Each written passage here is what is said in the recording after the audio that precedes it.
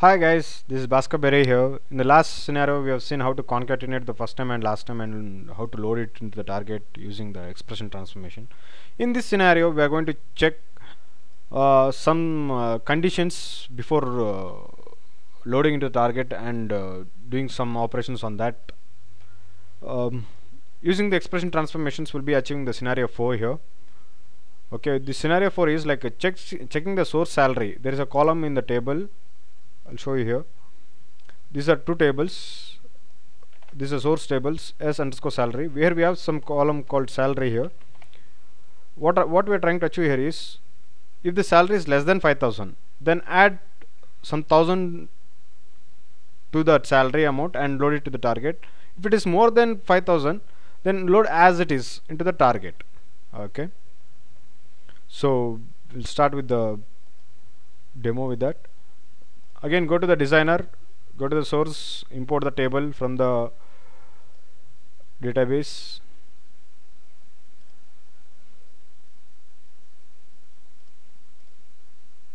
Salary click ok.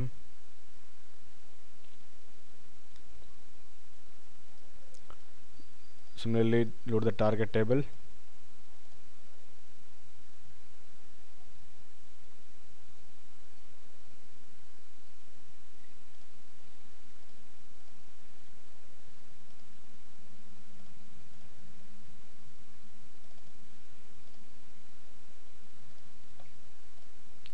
and create a mapping for this.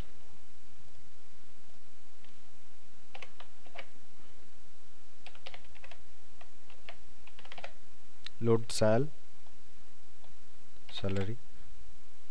Click ok.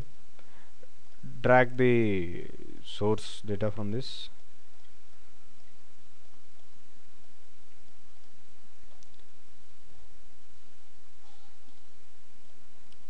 And um, I'm using the expression transformations to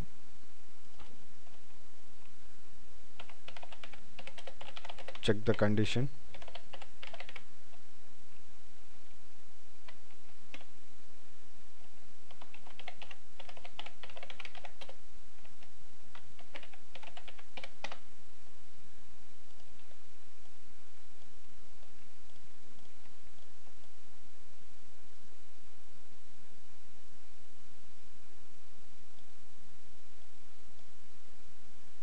I've dragged all the rows into the ex uh, expression.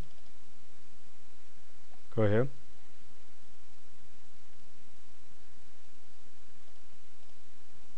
And add one more extra field to this.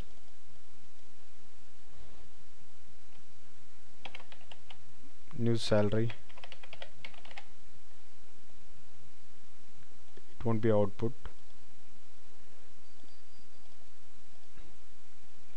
here you can write the expressions for this using the conditions. Take the if conditions here. Here the if condition is nothing but if apply the conditions. If that is true that expression 1 will be here will be output in the will be outputted. If expression is false that the condition is false then the expression 2 will be displayed. So if what is the conditions we are trying to achieve so if you see here first salary is less than 5000 so what I'm going to do is if this is if conditions what are the check uh, what are the columns I'm checking? If salary less than 5000 if this condition is true then what I'm going to do? I'm going to add 1000 to the salary. Otherwise I'm just going to give the salary as it is. Just validate. Okay. Click ok. Apply. Okay. So load it into the target.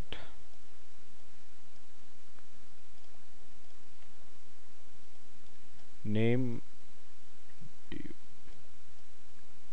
Dob new salary. And created it. I just let me add one more column for this one more field.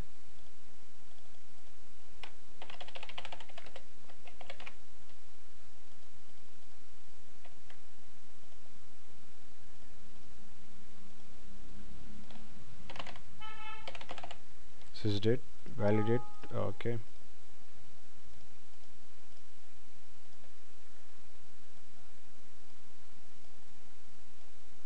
Okay now we have mapped all the things validate the mapping.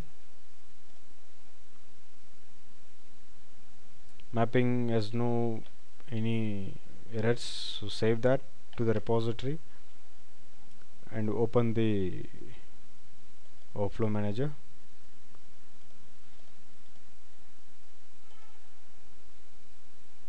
So last time we have created this workflow close this create a new one.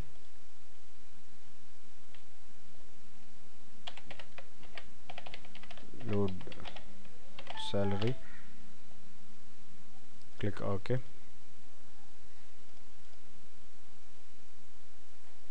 So for this session I'm selecting the map m underscore load summary that the mapping which we created just now.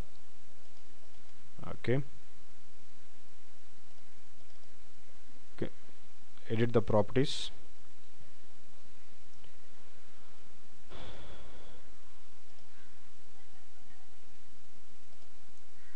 instead of I can directly give here in the mapping only.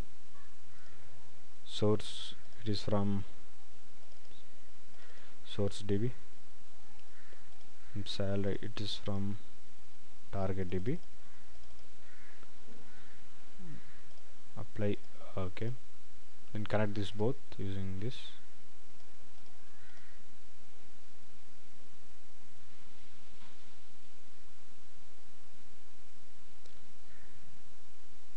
similarly we can have multiple if conditions in that uh, expression transformations which I showed you just now. Okay. Validate the workflow. It's valid.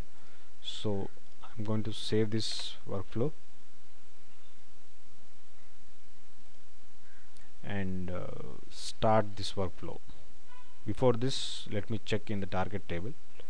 What I have any data no data so it source is so much.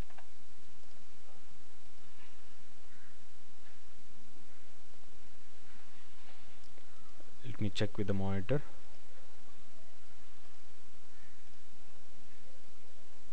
So this is running here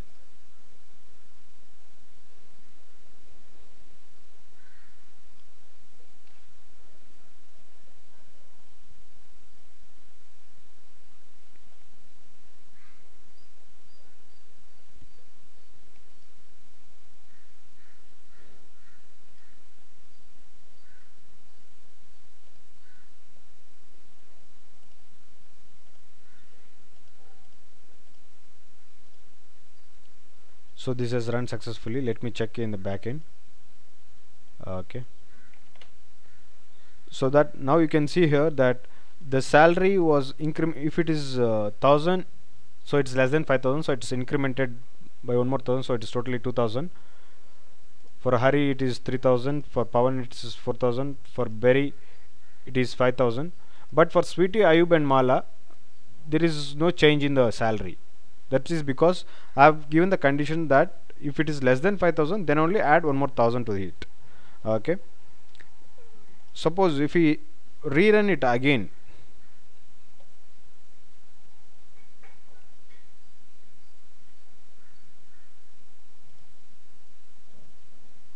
Restart the task. Let me see what happens. What is the changes it affects is done. So if we run this again there is no change to this. Like Rahul again it has been repeated same values.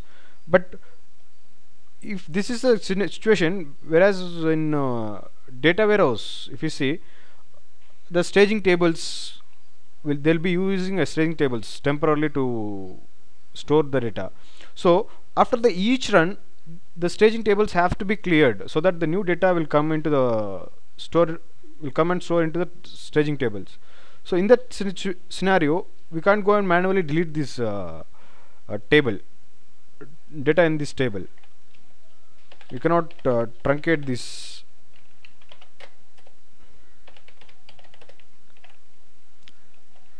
From here. So what we are going to do is we are going to add this situation also in the workflow. Sorry in the session. Click here. In the mapping before loading into the target we have that uh, some attributes like pre-SQL post SQL layer. So we need to go before loading before running in this uh, session what we need to do? We need to truncate the table. So what I'm going to do I'm going to write this truncate table this this salary. Click OK apply OK so let me run save this and run this again.